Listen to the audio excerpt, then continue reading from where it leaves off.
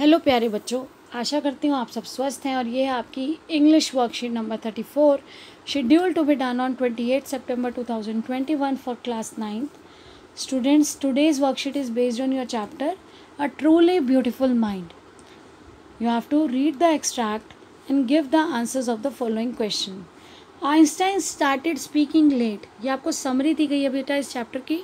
और इस पर बेस्ड उसके बाद आपको क्वेश्चन दिए गए हैं। जो मेन मेन पॉइंट्स हैं चैप्टर के वो डिस्कस किए गए हैं और इस पर बेस्ड आपको क्वेश्चन के आंसर्स देने हैं।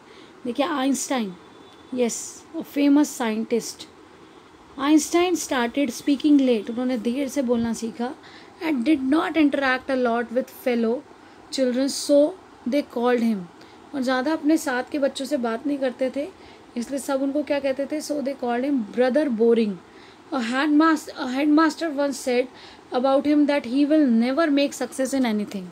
और एक बार तो एक हेडमास्टर ने कह दिया कि वो किसी भी चीज़ में सक्सेस यानी कि सफलता प्राप्त नहीं कर सकेंगे।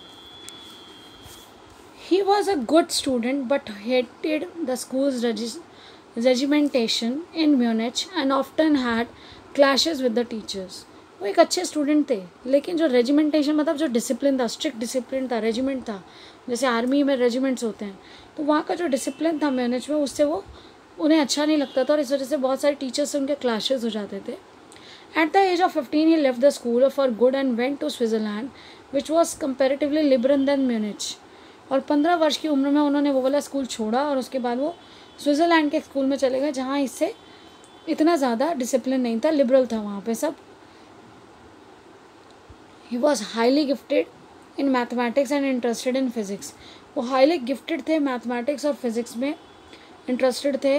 Lately he studied at university of Zurich there he met Mileva Maric and fell in love with her और वहाँ पर फिर उन्होंने ज्यूरिक यूनिवर्सिटी में अपनी आगे की पढ़ाई की, जहाँ पे मेलिवा मैरिक से वो मिले और उनसे उन्होंने उनको लगाव हुआ, प्यार हो गया। In 1902 he got a job as a technical expert in the patent office in Bern तो 1902 में उनको क्या मिला? 1902 में उनको एक टेक्निकल एक्सपर्ट का पोस्ट पे उनको जॉब मिली और वो पेटेंट ऑफ़िस था जहाँ पर, बेटा कोई भी नई जो आविष्कार होते हैं उन नए आविष्कारों के लिए पेटेंट आप कभी भी देखेंगे तो पेटेंट इशू करवाया, जिससे वो एक लाइसेंस होता है कि कोई और उनकी उस स्टडीज़ को यूज़ नहीं कर सकता।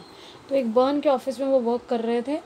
Instead of assessing others people's inventions Einstein was actually developing his own ideas in secret अपने काम जो, जिस काम के लिए वो वहाँ पर थे, वो दूसरों के असेस नहीं करते थे जो इन्वेंशंस थी, वो अपने खुद के आइडियाज़ पर ही काम कर रहे थे secretly he is said to have jokingly called his desk desk drawer at work the bureau of theoretical in physics जो उनका डेस्क का जो ड्रॉर था जहाँ वो बैठ, बैठते थे वर्क प्लेस पे उस डॉर का भी नाम जोक से क्या कहा जाता था? Bureau of theoretical physics on personal friend his mother was against his marriage according to her Mileva was a book like Einstein but finally in nineteen hundred three they got married though after birth of two sons and a few years later the marriage flattered they got divorced in nineteen hundred nineteen बेटा mother उनकी जो थी उसके खिलाफ थी, लेकिन फिर भी मिली वैसे उनकी शादी। 1903 में की उन्होंने। उनके दो बेटे हुए और कुछ साल के मैरिज के बाद 1900 उन्नीस में उनका डाइवोर्स हो गया। One of the famous famous papers of nineteen hundred five was Einstein special theory of relativity from this followed the world most famous formula which describes relationship between mass and energy तो यहाँ पर जो हमें mass and energy का हम formula पढ़ते हैं वो 1905 में। उनकी जो स्टडीज़ के पेपर उन्होंने रिलीज़ किए थे उसमें आया था जिसे हम सबने आगे पढ़ा जिस स्टडी को यूज़ करके बहुत सारे न्यू इन्वेंशंस भी हुए। तो देखिए उसके बाद क्या है? In 1915, he had published his general theory of relativity, which provided a new interpretation of gravity. The newspapers proclaimed his work as scientific revolution. Einstein received the Nobel Prize for Physics in 1921. उनको अपनी studies के लिए theory of relativity interpretation about gravities पर base आप उनको Nobel prize जो बहुत बड़ा प्राइज़ है सबसे बड़ा प्राइज़ होता है फिज़िक्स के लिए 1921 में उन्होंने प्राप्त किया when the Nazis came to power in Germany जब नाजीज आ गए जर्मनी में पावर में 1933 में Einstein emigrated to the United State वो यूनाइटेड स्टेट में चले गए।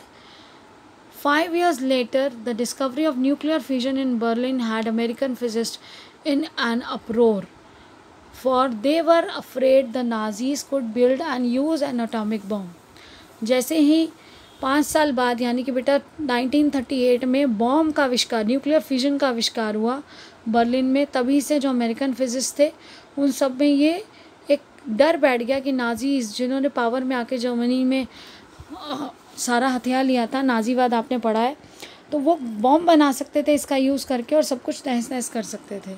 At the urging of a colleague a colleague के रिक्वेस्ट करने पर Einstein wrote a letter to the American president Franklin D Roosevelt. तो एक कलीग के मोटिवेट करने पर उन्होंने एक लेटर लिखा, जो वहाँ के अमेरिकन प्रेसिडेंट को लिखा गया और warning warning them of the looming danger of bomb on them the American developed the atomic bomb in a secret project of their own and dropped it on the Japanese cities of Hiroshima and Nagasaki in August 1945 उन्होंने रोकने की कोशिश की, लेकिन फिर भी American ने secretly bomb बनाया और जापान पे उस बॉम्ब को गिराया गया, जिसके बारे में आप पढ़ते हैं। हिराशिमा और नागासाकी पे 1945 में। Einstein was deeply shaken by extent of destruction Einstein पे बिल्कुल उस चीज़ से हिल गए थे, जो इतना डिस्ट्रक्शन हुआ था डिवेस्टेशन हुआ था, पर तबाही हो गई थी। This time he wrote a public missive to the United Nation अब उन्होंने पब्लिकली यूनाइटेड नेशन को लिखा। In it he propose the formation of a world government यहाँ पर उन्होंने सलाह दी कि हमें एक वर्ल्ड की संसार की गवर्नमेंट बनानी चाहिए over the next decade Einstein got ever more involve in politics और अगले डिकेड क्या होता है बेटा? दस वर्षों में। अगले दस वर्षों में वो पॉलिटिक्स में इन्वॉल्व हो गए सिर्फ़ इसी वजह से कि agitating for an end of to the arms buildup and using his popularity to campaign peace and democracy वो पीस और डेमोक्रेसी को प्रमोट कर रहे थे शांति को और गणतंत्र को।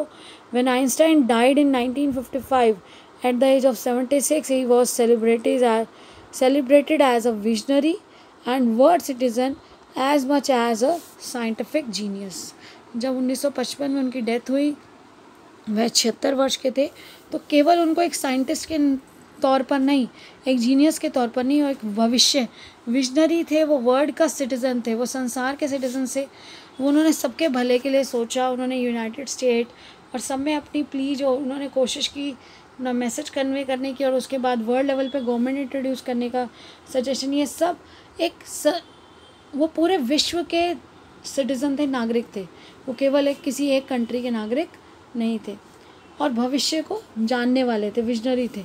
Now we have to answer the question Einstein was Brother Boring for other children because Einstein को ब्रदर बोरिंग कहते थे। बाकी बच्चे लाइक टॉकिंग अबाउट हिमसेल्फ अपने बारे में बात करते रहते थे। वॉज़ ऑलवेज आस्किंग क्वेश्चन ऐसा कुछ नहीं है कि बार बार क्वेश्चन पूछते थे। सेल्डम इंटरेक्टेड विद देम बहुत ही रेयर था कि वो सब लोगों से इंटरेक्ट करते थे तो उन्हें ब्रदर बोरिंग कहा जाता था। कैप टॉकिंग अबाउट मैथ्स ऐसा कुछ नहीं था। Einstein left the school in Munich for good does not imply that he paved the way for his success he got a better opportunity he was creating nuisance there he was fed up of the strict discipline तो बेटा, वो strict discipline से परेशान थे। तो उसके बाद देखिए बेटा नेक्स्ट क्वेश्चन है। The word visionary does not correspond to visionary का मतलब किससे कॉरस्पॉन्ड नहीं करता? इमेजिनेटिव जो आगे के बारे में सोच लेते हैं टैलेंटेड ईगल पे आइड या फायर साइटेड फायर साइटेड भी दूर का सोचने वाला। तो ईगल आइट ईगल आइड वाला जो है आपका, वो इससे मैच नहीं करता। तो ऑप्शन थ्री जो है आपका, वो आंसर है।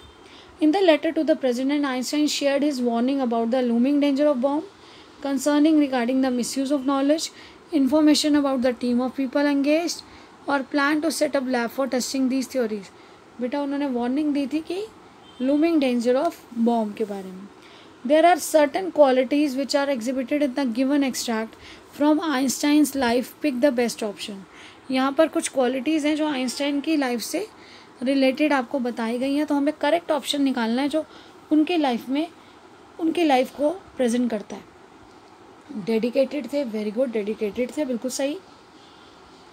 इनसेंसिटिव नहीं, वो सेंसिटिव थे, उनको बहुत असर पड़ा था।